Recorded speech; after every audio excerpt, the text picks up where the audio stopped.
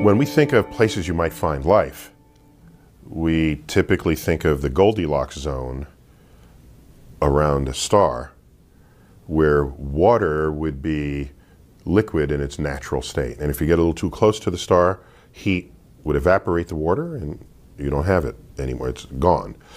Too far away, it would freeze. And neither of those states of H2O are, are useful to life as we know it we need liquid water. So you can establish this green zone, this habitable zone, this Goldilocks zone, where if you find a planet orbiting there, hey, it's a good chance it could have liquid water. Let's look there first for life as we know it. Now, it turns out that this source of heat, of course, is traceable to the sun. And as you go farther out, everything would or should be frozen, all other things being equal.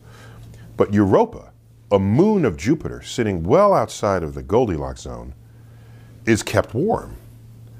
Not from energy sources traceable to the sun, but from what we call the tidal forces of Jupiter itself. So Jupiter and surrounding moons are actually pumping energy into Europa.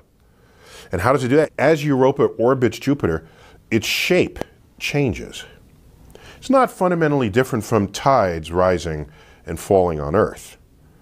The shape of the water system of the Earth is responding to tidal forces of the moon. And when you do that to a solid object, the solid object is, is stressing. And because of this, a consequence of this is that you are pumping energy into the object.